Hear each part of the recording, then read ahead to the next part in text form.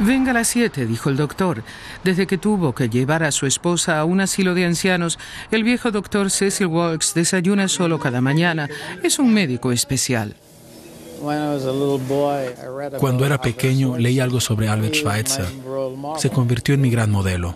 Como médico, nunca negué asistencia a nadie, sin importar si tenía dinero o no.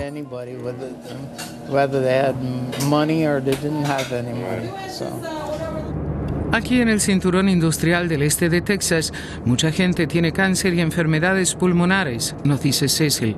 Sin embargo, una de cada cuatro personas no está asegurada. Digamos sencillamente que a la gente no se le permite enfermar. Deben trabajar para sobrevivir. Estibadores, pizzeros, millones de personas ni siquiera tienen acceso a los servicios sanitarios públicos y vienen acá. Para muchos, él es su última esperanza. Cecil cerró la consulta privada hace 24 años para hacer realidad su sueño siguiendo el ejemplo de Alba Schweitzer. Ahora cobra un pequeño salario de la clínica.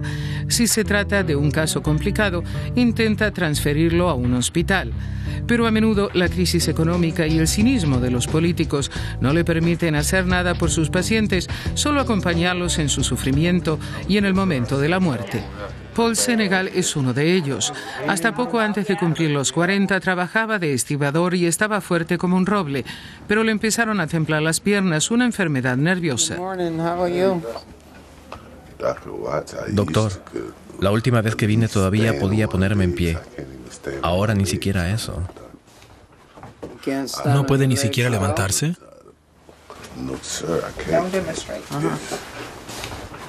Los hechos hablan por sí mismos. El doctor Walks lleva dos años intentando convencer a un especialista para que al menos le haga un diagnóstico. Paul usa el cortacésped para ir a la clínica. Su hermana le dio dos dólares para gasolina. Tiene un auto, pero la enfermedad le está dejando ciego poco a poco. Ya no puede ni encontrar la cerradura. Siempre lleva consigo los documentos más importantes. Los guarda en este bote para el café. Impotentes no pueden más que acompañar a Paul en su decadencia.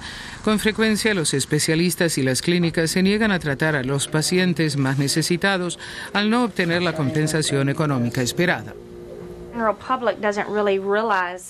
Los ciudadanos estadounidenses no tienen ni idea de que hay tantos trabajadores sin cobertura médica y a los que nadie ayuda.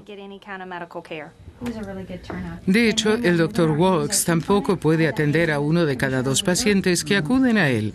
El programa de asistencia del distrito es solo para los más pobres.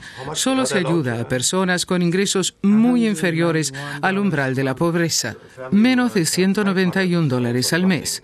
No podría siquiera ayudar a una familia que solo gana 500 dólares al mes. Es un sistema cínico, no tiene más que decir. Paul necesita 40 minutos para llegar a casa. Él mismo habilitó el garaje de su hermana, pero eso fue cuando aún podía manejar y trabajar. Su pareja de siempre vivía aquí con él.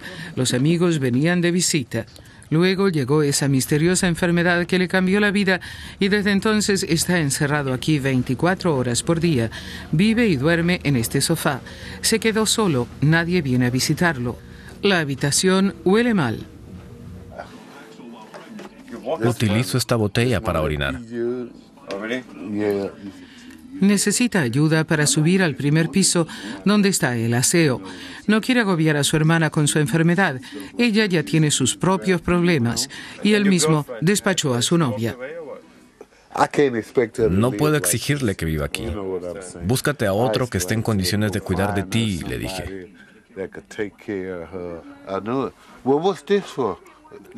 No sé qué pone en esta carta. Tengo que responder, pero ya no puedo leer ni escribir. Le deniegan la pensión por minusvalía. Las autoridades le exigen un diagnóstico exactamente lo que los médicos le negaron hasta ahora.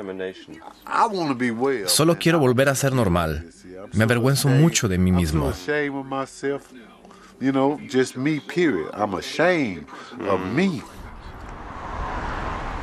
Port Arthur. Por las tardes, el doctor Walks acude aquí, la segunda clínica del distrito.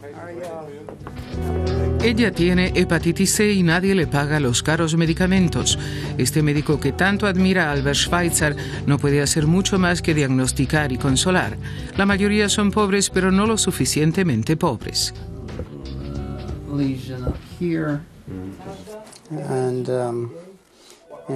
Esto debería extirparse lo antes posible.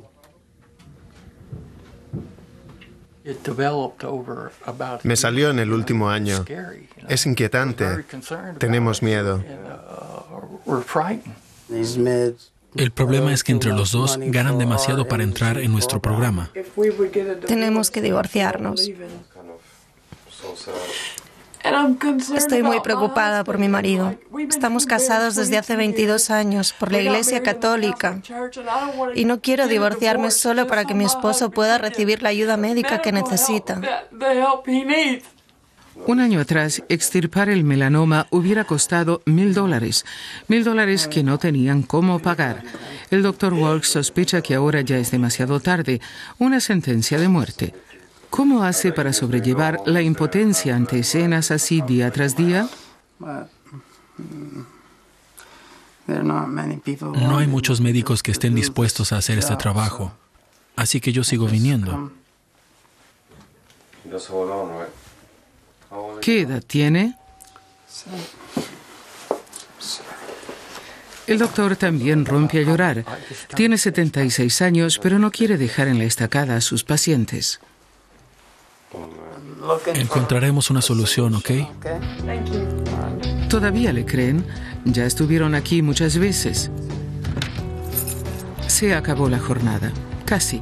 Hace meses que el doctor Walks intenta contactar con un paciente al que le diagnosticaron un cáncer intestinal hace más de un año. Después de todo este tiempo, tengo miedo de que sea demasiado tarde para el tratamiento puede que el cáncer haya afectado a los ganglios linfáticos u otros órganos.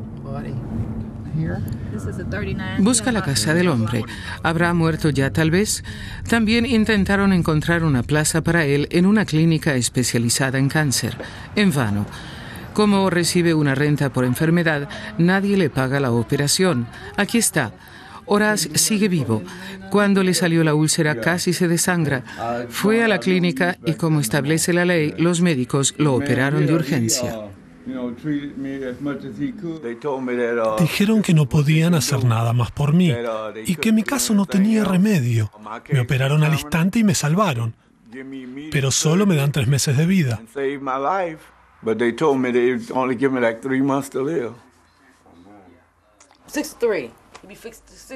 Tiene 63 años, todavía es joven. Tendrían que haber encontrado la manera de ayudarlo.